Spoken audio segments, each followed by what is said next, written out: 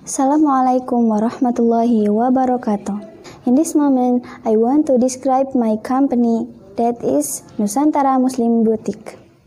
Nusantara Muslim Boutique located at Jakarta as a company center, Surabaya, Tasik, Aceh, and Medan.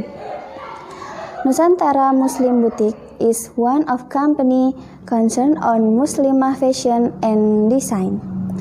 The Nusantara Muslim Boutique uh, pro profit various long dress, decoration accessories, veil, and wedding dress with high quality materials and comfortable with Sharia values.